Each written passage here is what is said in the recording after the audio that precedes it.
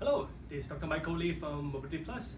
One of the biggest complaints we heard uh, from our patients during traveling is after they get off the plane, they pack up the luggage, they hurt their back. So I'm going to show you this simple strategy to avoid that problem. So when you get a conveyor belt, instead of two legs, I always want to do a little lunge, okay? So get low, trying to load the hip a little bit. So trying to pull. I prefer the underhand because you can use a little more bicep, so you can just pull.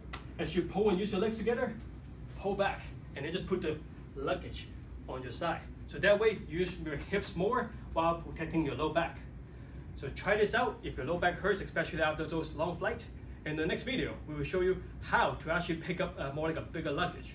So this is Dr. Michael Li from Mobility Plus, here to help you to move better, to feel better.